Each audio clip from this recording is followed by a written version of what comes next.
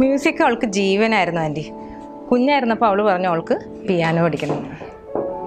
ഇപ്പോഴത്തെ കുട്ടികൾക്ക് എന്തൊക്കെയാണ് ഓപ്പർച്യൂണിറ്റി അത്. പിന്നെ കുഞ്ഞായിരുന്നപ്പോൾ ന്യൂസ് പേപ്പറിൽ ഒരു പിയാനിസ്റ്റിന്റെ ഫോട്ടോ വന്നു അപ്പോൾ കീസ് എല്ലാം കണ്ട് ഭയങ്കര ഇൻട്രസ്റ്റഡ് ആയി. അപ്പോൾ ഞാൻ അമ്മയോട് പറഞ്ഞു അമ്മ നമുക്ക് പിയാനോ പഠിക്കണം. എനിക്കതൊരു പുതിയ അറിവായിരുന്നു.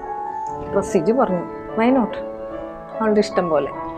You are very lucky Nidhi അഞ്ചാം ക്ലാസ് ആയപ്പോഴത്തേക്കിനും അവൾ തേർഡ് ഗ്രേഡൊക്കെ പാസ്സായി പക്ഷെ അത് ഗ്രേഡ് പാസ്സായെന്നേ ഉണ്ടായിരുന്നുള്ളൂ. ഞാൻ ഒട്ടും സാറ്റിസ്ഫൈഡും ആയിരുന്നില്ല.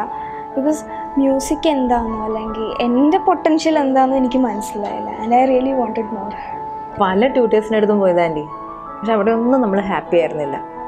അങ്ങനെ ഇരിക്കുമ്പോഴാണ് ഹസ്ബൻഡ് ഡോൺ ബോസ്കോ മ്യൂസിക് അക്കാഡമിയെക്കുറിച്ച് കേൾക്കണത്. അങ്ങനെയാണ് ഇവൾക്ക് അവിടെ അഡ്മിഷൻ എടുക്കുന്നത്. പേഴ്സണൽ അറ്റൻഷനും അൺലിമിറ്റഡ് ടൈം ഫോർ പ്രാക്ടീസും അതാണ് ഡോൺ ബോസ്ക് അക്കാഡമിയുടെ പ്രത്യേകത.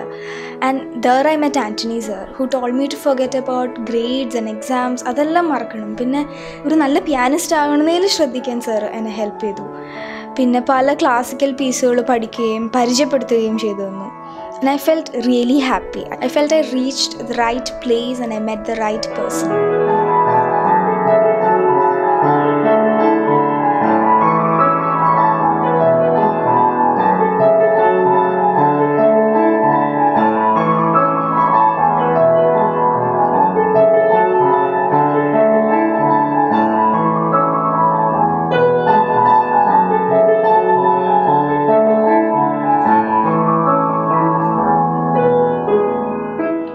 This Sunday, I'm going to Chennai to enroll myself at A.R. Rahman's K Music Conservatory.